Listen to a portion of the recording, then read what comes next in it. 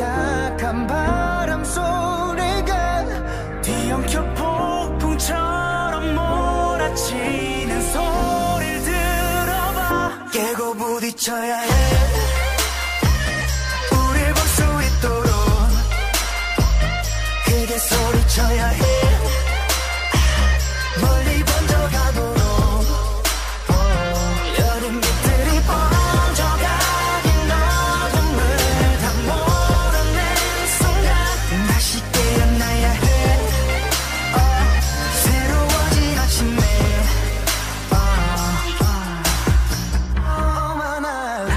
산들로 내와 이미 다른 출발선 위